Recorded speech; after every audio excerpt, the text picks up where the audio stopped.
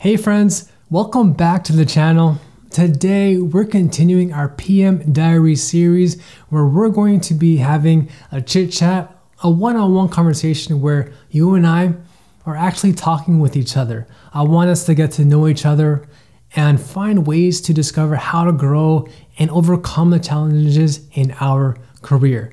So today's topic is all about overcoming the fear of feeling like an imposter.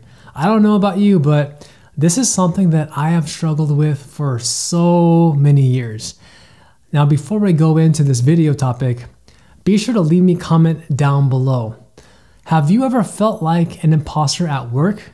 And if you have, or maybe you still do feel like an imposter, what are actions that you are taking right now to feel less like an imposter? I'd love to hear from you, so please leave me a comment down below. Let's build a community here. Let's learn from each other and find ways for how we can accelerate and just learn from our mistakes. So, for me, you know, if you're not familiar with my story, I graduated university right out of college as an engineer and I got an engineering job. When I was an engineer, I was much more focused heavily on the technical side of work. But as I transitioned into becoming a project manager, that's when the imposter syndrome really started to kick in. And I had to take that phrase, fake it till you make it, literally to my career. I literally had to fake it till I make it because I felt like I didn't know everything and I didn't know enough to feel competent among all of the subject matter experts that I was leading on my teams. And it can feel really discouraging when there's someone else on your team who you, who you have to tell what to do and what tasks need to needs to take place if they're a PhD or they're very, very, very, very intelligent. And the last thing you want to do is to look less informed than they are. Because as a project manager, you have to be perceived as a leader and you don't want to appear that you don't know what you're talking about. Raise your hand and definitely like the like button if you've ever felt that way before because I have personally felt that way so many times. It can feel frustrating. You know, I felt discouraged, even anxious about how do I lead a team when I don't know the extensive breadth and depth of the same knowledge in the topics that they're talking about. It's challenging. And even then, it's how do you gain their buy in and their support if you don't know the same topics that they do. And so, what I'm going to share with you are my biggest lessons that I have learned from starting out as an engineer, senior engineer, engineering project manager, to now manager of how I've overcome this imposter syndrome. Because it's difficult when you feel like you don't know everything, but you still have to lead teams and drive results. So, the first thing is a huge lesson that I learned when I was speaking to some colleagues of mine who are higher up than me. So, senior managers, directors, and vice presidents. Have you ever asked yourself, what is it that our leaders do that makes them very good at spearheading visions and taking things from step A to step B? Do they, do they appear that they're zoomed in on all the nitty gritty details? All that details? Or do they zoom out at the 100,000 foot level to help steer the entire company or their department on what direction to go? The answer is that they're much more strategic in their decision making and they're not as involved on all the nitty gritty details. Of course, there are some exceptions, but for the vast majority of leadership, they're usually at the 100,000 foot level where they don't look at the nitty gritty details? Do they need to understand and know what each subtask and what the other subtasks are to the minute detail? No, right? And so when I heard that, and this was many years ago, when I heard that, I thought, hmm, I should probably take that same approach. So when I was an engineer, I was extremely detail oriented. I would zoom in like with a magnifying lens to make sure that the work that I did was spot on. completely accurate. I didn't want my work to be low quality. I wanted to be something that could show that I'm a great engineer. When I transitioned to being a project manager, I had to learn to zoom out, to zoom out and then still zoom in when the time called for it. So when I was an engineer, one of the weaknesses that my prior managers would give me is hey, you're very good technically and you have a good attention to detail, but sometimes you need to learn to zoom out, right? Now in my role, funny enough, now it has switched. I now get comments and praise about how I'm very good at leading teams and driving decisions and seeing things more from the 100,000 foot level, being able to see the big picture. And that's what I encourage you if you're trying to land a job as a project manager, or if you're trying to pivot careers, or maybe you're trying to grow from a project entry level project manager role to a senior level role, or maybe program manager role. To get to those next steps, you need to know how to zoom out. You have to be comfortable with not knowing all the technical details. It can feel discouraging but you have to accept the reality that there is no way that you're going to know everything. It's just literally not possible. We only have so much time in our days. And yeah, we could research and read all these books and learn everything we could through courses. But is that really the best use of our time? Probably not, right? So when you're approaching a role as a project manager, when you're leading your teams and you're developing your project plans, it's okay to not know the granular details of every topic and every technical detail that your team members are talking about. The second thing is that I've learned is it's okay to ask questions. There's nothing better than to ask a question to someone else than to go back to your desk and think, gosh, I have no idea what that person was referring to.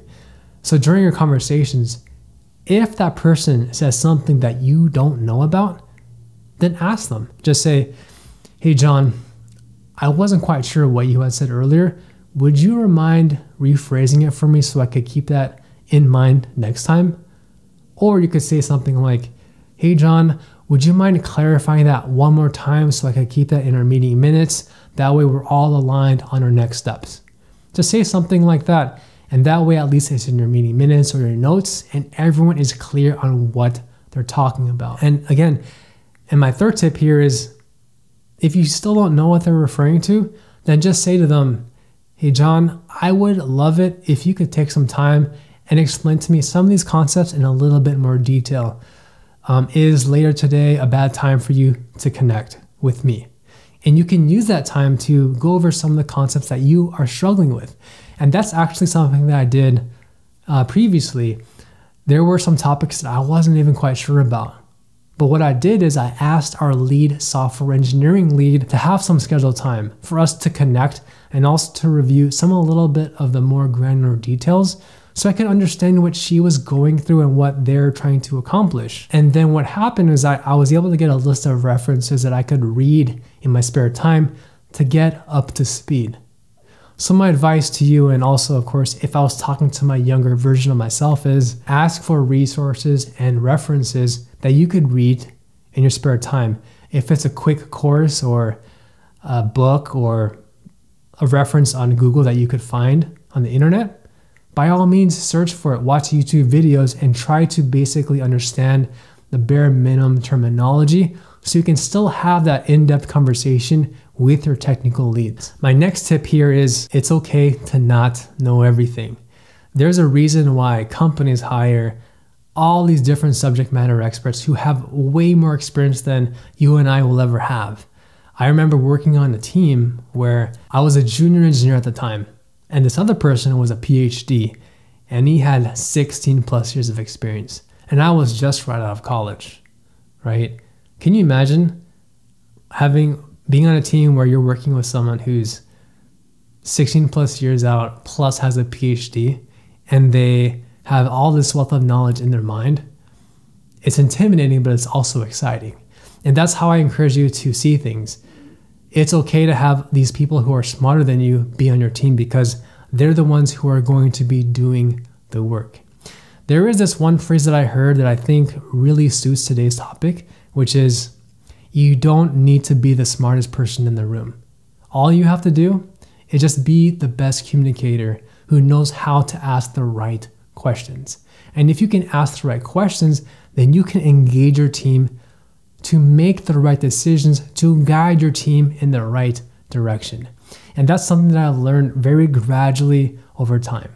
If you can master this one skill of learning to zoom out, being okay with not knowing everything, asking questions whenever there's any sliver of doubt in your mind, and taking the time to learn just a little bit more about some of the fundamentals or the detailed concepts that they're referring to is really going to set you up for success.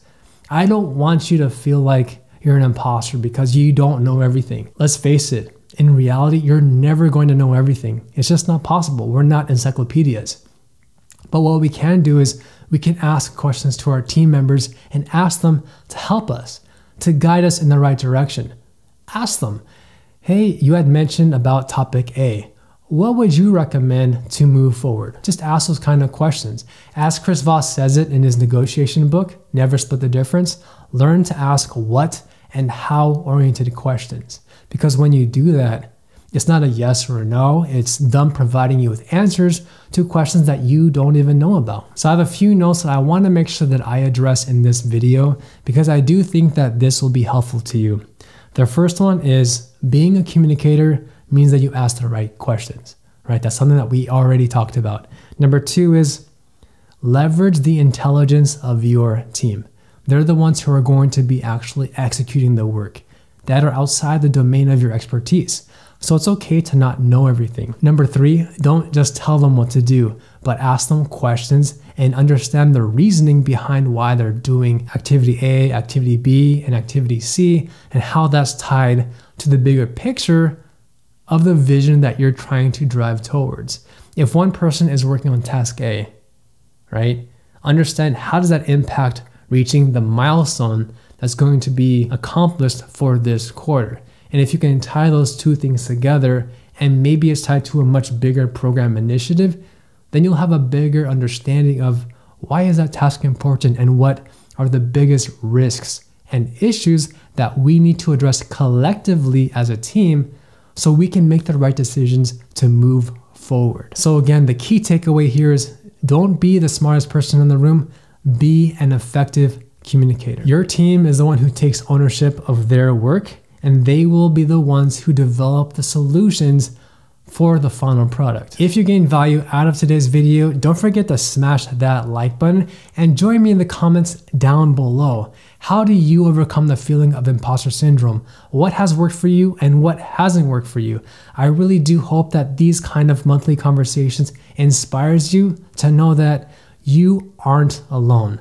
We're all going through the same challenges in our careers. For me, I'm a project manager and I'm hoping to continue to inspire you in your role, whether you're a project manager or maybe you're trying to grow and elevate your career even further. So, again, thank you so much for watching. And if you missed our previous monthly PM Diary series, please watch this video next, and I'll see you in the next video.